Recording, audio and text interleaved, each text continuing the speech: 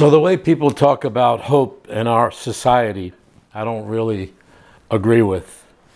Because in our society, hope means I'm just going to flip a coin and hope it lands on heads. But we as believers know that hope means to look forward. And we look forward with confidence, with expectation, with anticipation. And this form of hope isn't based on a wish. It isn't based on a flipping of a coin. It isn't based on a maybe. It's based on a promise. Hmm. But what if that's how we approached it for people? That we gave them a chance to have the opportunity to look forward to the hope with confidence, expectation, and anticipation. You know, I know all of you in this room are, are leaders uh, your influencers, and you have the opportunity to affect our culture. What if hope is a way of life? And for us as believers, it is. But what if hope was a way of life? And you thought about it in a way that culture was a way of hope. Not a culture of flipping a coin, that people could get to look forward to the hope with confidence, expectation, and anticipation because it's based on a promise, a promise kept by God, not on, I hope it lands on heads. And take your Bibles and turn to Colossians chapter 1.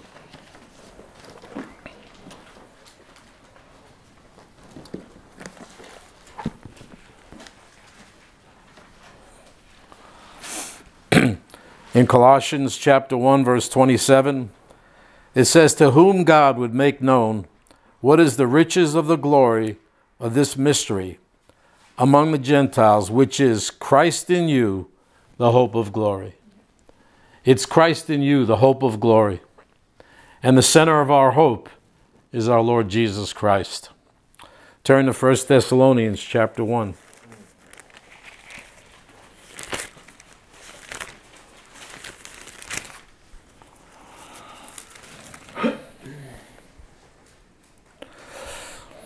You know, the first church epistle written was Thessalonians, but it was put last because about, it was about the return of Jesus Christ. And the last thing that was going to happen to the church is the gathering together. And the reason it was put first was because they had gotten away from looking at the hope. They had gotten away from looking at the return. And they were only looking to what was going on at the time. And they stopped looking at the return anymore. So Paul saw that and he knew what Satan was trying to do. He was trying to discourage them from looking at the hope. So the uh, apostle Paul wrote this epistle.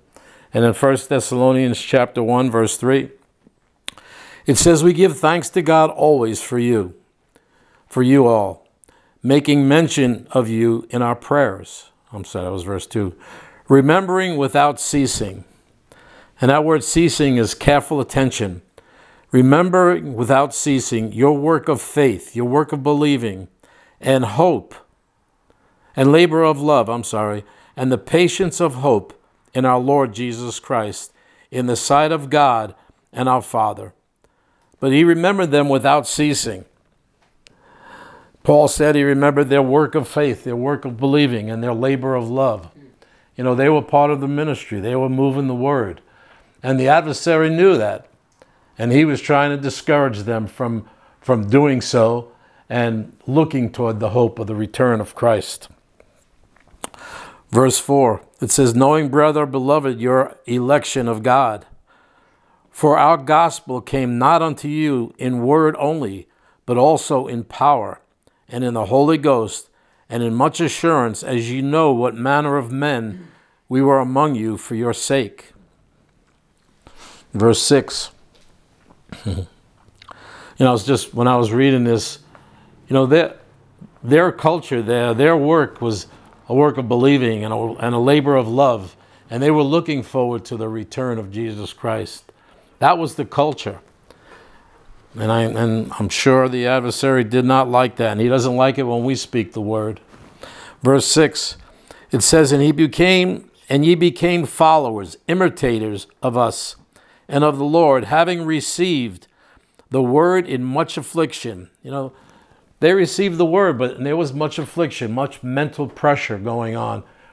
They were standing, but there was mental pressure that was affecting them. It says, with joy of the Holy Ghost. Hmm. They had mental pressures when they were standing, and, and that happens to us too at times. Pressures of life when they stood. And Satan didn't want them to stand and stay focused on the return. In verse 7, it says, So that ye were examples, and that's the word tupos, type. It means type. You were the type to all that believe in Macedonia and Achaia. Hmm. But they were that type. They were the examples. Hmm. Verse 8, it says, For from you sounded out the word of the Lord. the word sounded out, the word of the Lord, not only in Macedonia and Achaia, but also in every place your believing to Godward is spread abroad, so that we need not speak anything. They patterned their lives and became examples of the word and of the and, and the Lord, and it sounded out.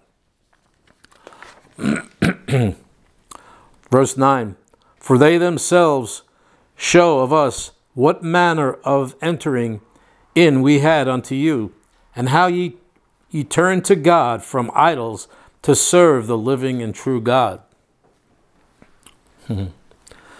Verse 10 And to wait, and to wait for his Son from heaven, whom he raised from the dead even Jesus, which delivered us from the wrath which is to come.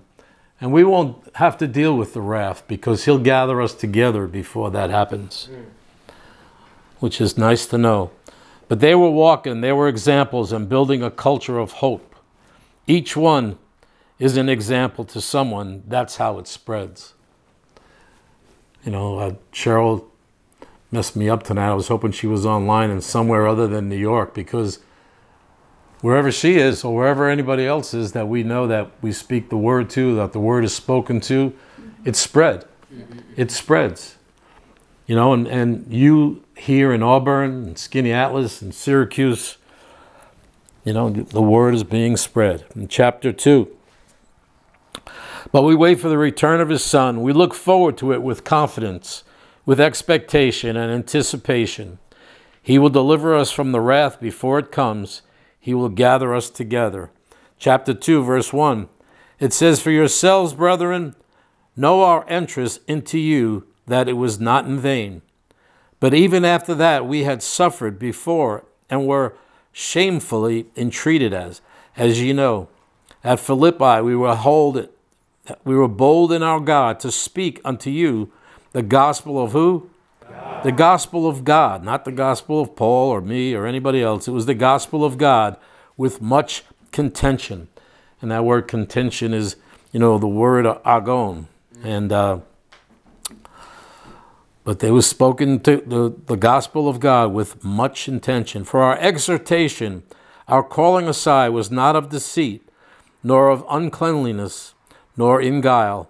Verse 4 But as ye were allowed, we're allowed, let me just finish that verse. We were allowed of God to be put in trust with the gospel. Each person in this room has, has been allowed to be put in trust with the gospel. We have the ministry of reconciliation and the word of reconciliation. How cool is that? That God, God thought us of, of, of us so much that He trusted us with the gospel. And to, to to handle it properly and to rightly divide it. Um, even so, we speak, we share it with other people. Why? To please God. We all need somebody to look up to, and that's God. We need someone to chase after, and that's Jesus Christ. And we all need somebody to look forward to, and that's Christ's return. Look in Acts chapter 1.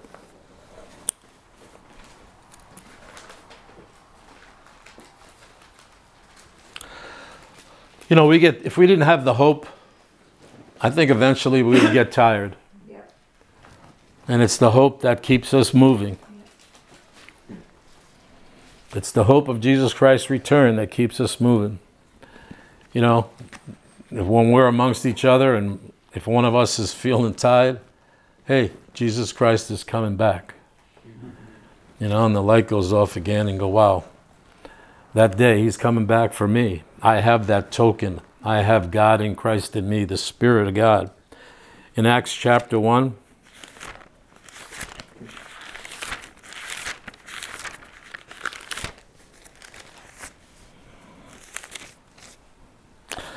I like that in the song. It said, Come, Jesus, come. I've been waiting so long. Been a lot of years, but guess what? He doesn't matter. He's still coming back. Mm-hmm. in Acts chapter 1 and verse 8, it says, But ye shall absolutely receive lambano, power, after that Holy Ghost is come upon you. And ye shall be witnesses unto me both in Jerusalem, in all Judea, and in Samaria, and unto the uttermost part of the earth. Ye shall, there is no doubt. You are the witnesses of the Lord Jesus Christ in Judea, in Samaria, in Auburn, in Skaneateles, in Syracuse, in Colorado, wherever there's a believer standing on God's word, we are witnesses. And that's why we want to build a culture of hope just think, you know, Romans 12, too. remember I, I shared it a week, a couple of weeks ago. Says, Be not conformed to this world, to the cultures. But what if one of those cultures was a culture of hope? That would be a good thing. Verse 9. It says, And when he had spoken these things while they beheld, he was taken up, and a cloud received Lambano him out of their sight. You talk about a Netflix movie. How would this be for a Netflix movie that you're standing there and next thing you know, you're, you're doing this? and he, I mean, there's good news and bad news. We'll get to the good news and bad news. But uh, wherever you are standing speaking God's word is holy ground. You don't, you don't want to believe it? Take it up with the big man. Mm-hmm. Where, you, where you stand and speak God's word Jerry, is holy ground. Verse 10 And while they looked steadfastly toward heaven, and as he went up, behold, two men stood by them in the white, white apparel. So again, it's in the Netflix thing. So you're going like this. Next thing you know, all right, you, you level out, and there's two, two men standing there. It's like, whoa. Oh my God. He says, Which all said, Ye men of Galilee, why stand ye gazing up into heaven? This same Jesus, which is taken up from you into heaven, shall absolutely so come, so return, in like manner as ye have seen him go into heaven. He's coming back. That's a promise of God. Our hope our hope is based on a problem, a promise. It's not based on a, a coin flip. It's not based on a maybe. It's not based on a wish. It's based on a promise. When the fullness of time has come, when God's spiritual clock says it's time, he will come back. Again, can you imagine standing there? And they were immediately given the promise of the hope. I mean, I probably would have been flipping out seeing them ascend, you know, like, now what do I do? But here's these two men saying, hey, don't worry, we got it covered. Give them, they, and they give them the promise of God that he is coming back. Look in 1 John chapter 3. So they were given the promise of the hope.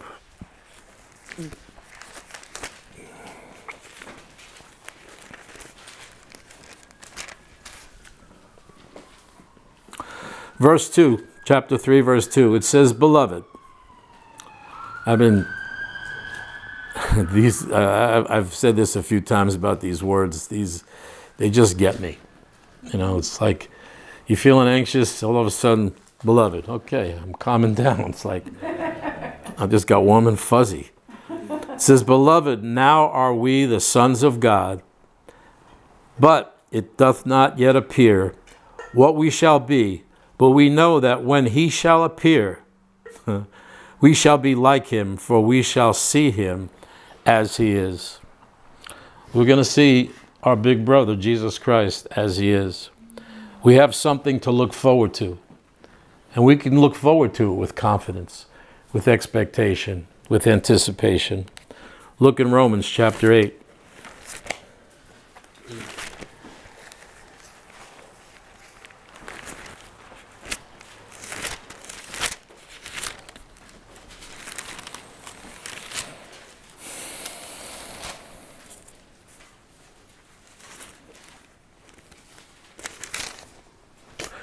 In verse 24, it says, We are saved by hope. We are saved to hope. But hope that is seen is not hope. For what a man seeth, why doth he yet hope for? Verse 25 But if we hope for that we are not, we, we see not, then do we with patience, with patience, wait for it. we're saved, we're made whole with the return. And we wait with patience. Hope anticipates. We hope for what's in the future. It's not a coin toss. Look in chapter chapter 4.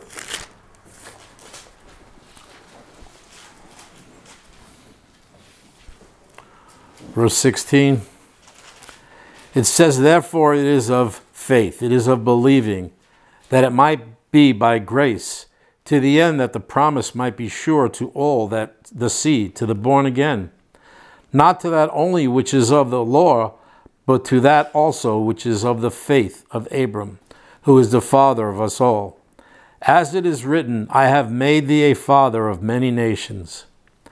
Before him whom he believed, believed even God, who quickeneth the dead, and calleth those things which he which be not as though they were.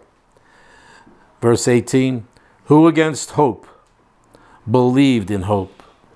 I mean, Abram was an old guy, and he believed God, the promise that God made, that he was going to have a kid, even when Sarah was up in years. But he believed. It says, Who against hope believed as in hope, that he might become the father of many nations, according to that which was spoken. So shall thy seed be. And being not weak in believing, he considered his own body now dead when he was about a hundred years old. Oh my God. Neither yet the, the deadness of Sarah's womb. It says he staggered not, he judged not at the promise of God through unbelief, but was strong in faith, giving glory to God. He was strong in faith. The first, the last act of Christ's coming was, was the ascension. And the first act, when he comes back, will be the descension. And uh, to gather the church, the body, the born again believers.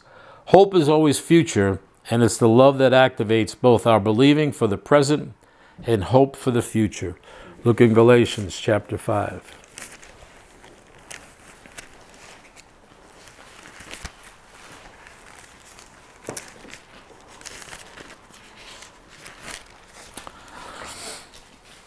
Verse 1 it says, Stand fast, therefore, in the liberty wherewith Christ hath made us free, and be not entangled again with the yoke of bondage. Hmm. Stand fast, that's uninhibited, with no fear. Verse 5 For we, through the Spirit, wait for the hope of righteousness by what? Faith. By faith, by believing. We wait for the hope by believing. Verse 6 For in Jesus Christ neither circumcision availeth anything, nor uncircumcision, but faith believing which worketh by love. Hmm. Believing worketh by love. Look in Romans 15.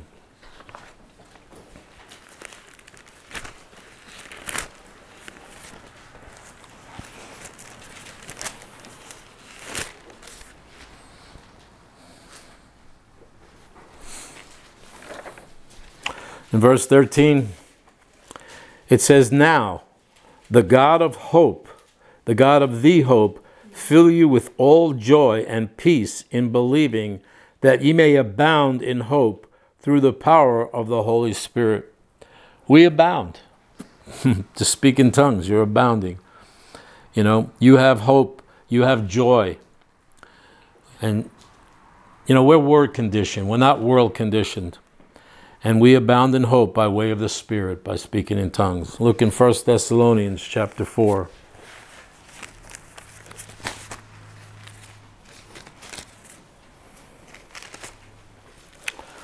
This Bible has seen better days.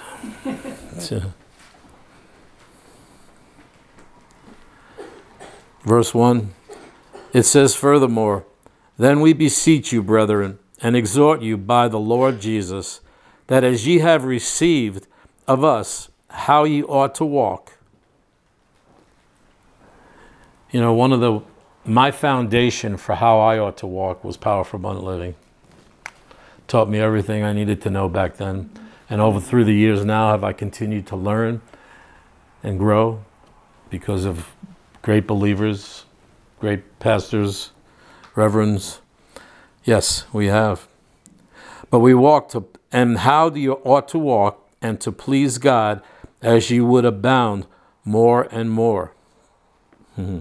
Verse 12 it says, That ye may walk honestly toward them that are without, and that ye may have lack of nothing. I have lack of nothing. God supplies your needs. Do not be conformed to the world, to the cultures. Verse 13 but I would not have you to be ignorant, brethren, concerning them which are asleep, that ye sorrow not, even as others which have no hope. God wants us to be wise. It says to be not ignorant. You know, I, I've, I've come, we've all come across people who have lost people, and we've lost people in our lives, and I don't know how they do it without the hope, knowing that Jesus Christ is coming back one day and that if that person was born again, you'll see them again. I don't. I I just can't comprehend how they how they live life. Verse 14 For if we believe that Jesus died and rose again, even so them also which sleep in Jesus will God bring with him. Verse 15 For this we say unto you by the word of the Lord, that we which are alive and remain unto the coming of the Lord shall not prevent, shall not precede them which are asleep. You know, that the word that coming there is that personal presence of the Lord. And we won't perceive uh, those. I mean, we know there's nobody in heaven. You know, there's, there's just nobody there. Verse 16, it says, For the Lord himself shall descend from heaven with the shout with the voice of the archangel and with the trump of the God of God, and the dead in Christ shall rise. Verse 17 Then we which are alive and remain shall be caught up together with them in the in the clouds to meet the Lord in the air, and so shall we ever be with the Lord.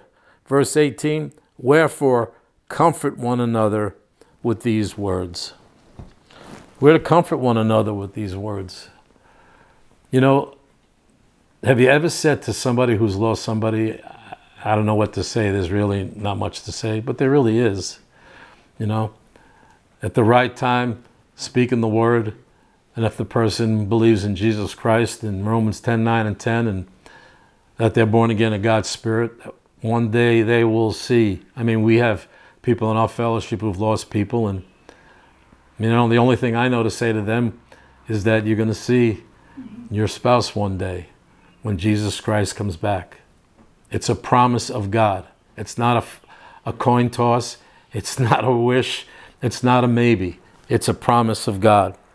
Look in chapter 5, verse 1. It says, But of the times and the seasons, brethren, ye have no need that I write unto you. We don't need to know. It's God's business. It's already been fulfilled. Pentecost came and went, and the Spirit was sent. Verse 2 For yourselves know perfectly that the day of the Lord so cometh as a thief in the night. For when they shall say peace and safety, then sudden destruction cometh upon them, as travail upon a woman with the child, and they shall not escape. Has anybody has anybody got an email from a thief saying, "Look, on the 14th, I'm gonna yeah. ransack your"? You have? Oh, no. She's back. no, the, the, the, thief doesn't let you know when he's coming, no. but we know that he's coming. Mm-hmm. So we're not going to be in darkness. Thanks, Grace. Verse 3 For when they shall say peace and safety, then sudden destruction cometh upon them, as travail upon a woman with a child, and they shall not escape. But ye brethren are not in darkness, that day should overtake you as a thief. It's not going to overtake us. We're children of light. You are children of light. it's not going to overtake you. Verse 5 Ye are all the children of light and the children of the day. We are not of the night, not of darkness. Therefore, let us not sleep as do others, but let us watch and be sober. For they that sleep shall sleep in the night, and they that are drunken are drunken in the night. But let us who are of the day be sober, putting on the breastplate of faith. I think we heard about that tonight the breastplate of faith and love, and for an helmet, the hope of salvation. the day of the Lord will be coming. The thief doesn't send, as I said, doesn't send an email. He's surprising the world, but he's not going to surprise us. We are not in darkness, so there's no need to worry. Your big brother, Jesus Christ, is coming back. and we glow in the world. It's Christ in you, the hope of glory. You're a child of light. So build a culture of hope. Speak the word. Continue to speak the word to people. Wow, I better keep going. Let's look in uh, Revelation chapter 9.